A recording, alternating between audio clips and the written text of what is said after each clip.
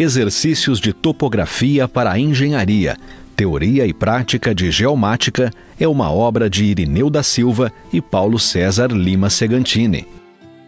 Publicado em 2018, o livro contém mais de 600 exercícios resolvidos e propostos na área de topografia para a engenharia.